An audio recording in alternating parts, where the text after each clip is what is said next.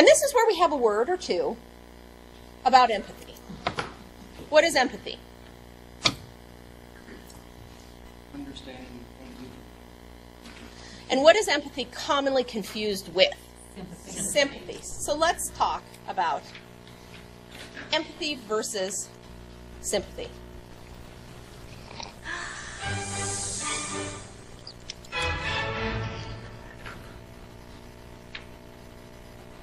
So, what is empathy, and why is it very different than sympathy?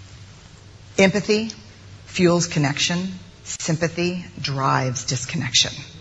Empathy, it's a, very interesting. Theresa Wiseman is a nursing scholar who studied professions, very diverse professions where empathy is relevant, and came up with four qualities of empathy perspective taking, the ability to take the perspective of another person or, or recognize their perspective as their truth, staying out of judgment, not easy when you enjoy it as much as most of us do, recognizing emotion in other people, and then communicating that. Empathy is feeling with people. And to me, I always think of empathy as this kind of sacred space when someone's kind of in a deep hole and they shout out from the bottom and they say, I'm stuck, it's dark, I'm overwhelmed. And then we look and we say, hey, climb down. I know what it's like down here. And you're not alone.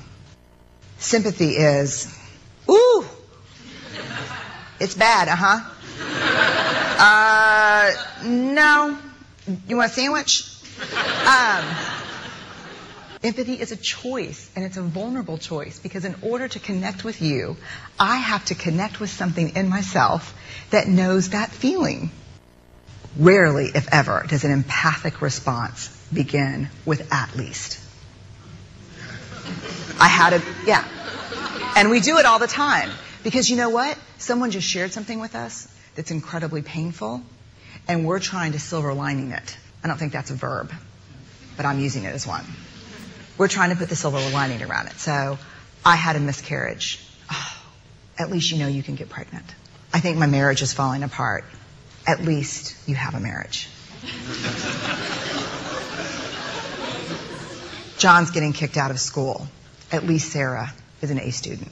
But one of the things we do sometimes in the face of very difficult conversations is we try to make things better.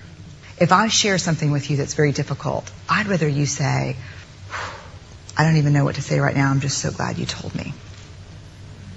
Because the truth is, rarely can a response make something better. What makes something better is connection. I thought that was such a good example of the difference. Yikes. Okay. All right. Yep. Let's take a break. Five minutes.